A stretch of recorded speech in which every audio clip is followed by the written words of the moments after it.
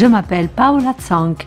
Je suis employée en cuisine et je travaille dans un établissement médico-social. En cuisine, le respect des règles d'hygiène est très important, aussi bien l'hygiène personnelle que dans la manipulation des aliments. Le chef de cuisine nous informe de nos tâches du jour.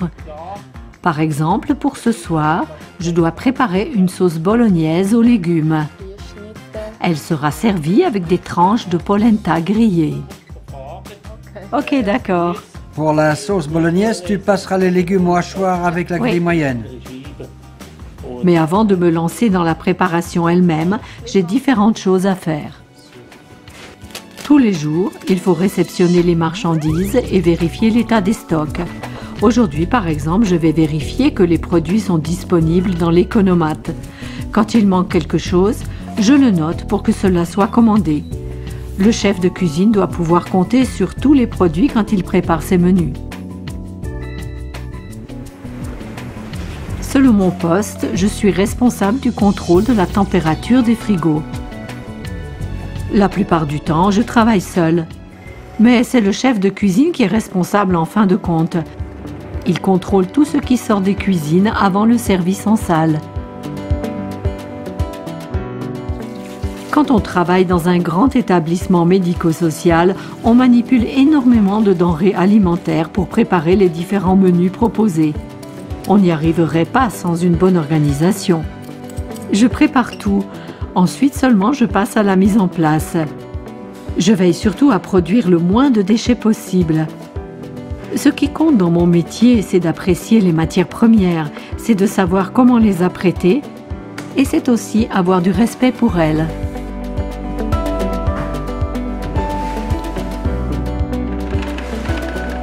Dans une grande cuisine, il y a beaucoup d'appareils et d'ustensiles bien spécifiques. Je sais me servir de chacun et bien sûr je le fais dans le respect absolu des normes de sécurité.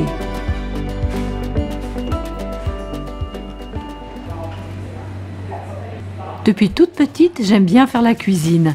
Aujourd'hui encore, je suis fascinée par la diversité des épices. Il faut si peu de choses pour que le goût d'un plat change complètement. Pour faire ce métier, il faut un sens du goût développé, une hygiène irréprochable et de bonnes connaissances des denrées alimentaires, bien sûr. On doit être capable de travailler vite et bien, même sous stress. Il faut être en bonne forme physique et être ouvert à la nouveauté. Je trouve ça important. Que désirez-vous? Une petite portion du menu. En fonction du service, je travaille aussi au restaurant.